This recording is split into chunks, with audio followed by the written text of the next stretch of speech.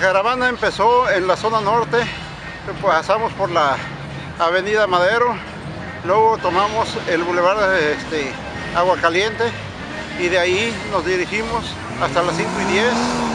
De ahí dimos vuelta rumbo a la central camionera hasta llegar al, al automar.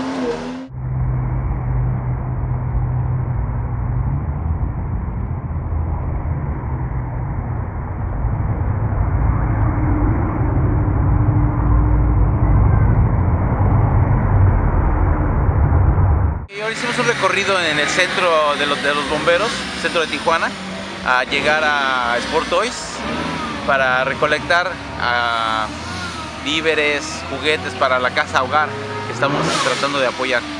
La participación fue excelente, calculo que unas 130 carros más o menos, o 100 carros mínimo, no los tuvimos oportunidad de contabilizar todavía, y alrededor de unas 250, 300 personas. Sí, yo pertenezco a la Casa Hogar Santa Teresita, Ahí estamos a sus órdenes, eh, cerca del Conalet 1. Nosotros nos dedicamos a las niñas huérfanas y necesitadas.